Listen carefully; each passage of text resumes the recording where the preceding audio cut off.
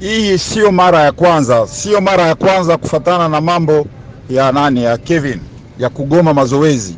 Kevin ni captain. Captain ni mtu mwenye unamupatia confiance na ni mtu mwenye anaweza kushauria wachezaji wote. Kapiteni ni mtu mwenye anaweza kuleta mfano, anafahamu, analeta mfano kutimu.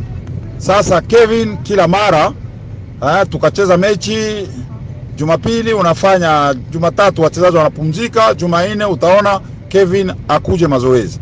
Tulishasumulia naye mara mingi juu ya ile mambo ya anafanya, na leo Kevin tunapatia wachezaji siku tano ya kupumzika, siku tano wachezaji wanapumzika eh.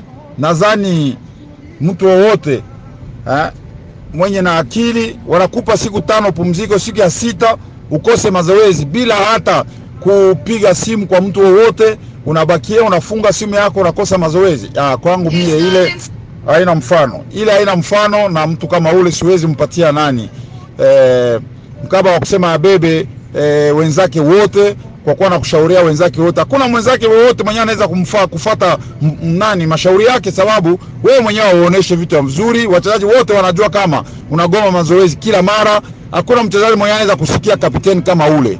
Ni hivi basi, nasema leo namtoa kabisa, namtoa captain eh, na tulisumuliana ajibu ajibu, ananiambia kama anaweza kuonyesha mfano coach eh, atafanya kazi vizuri ya captain na tokea leo ajibu njo anakuwa captain wa timu ya Yanga.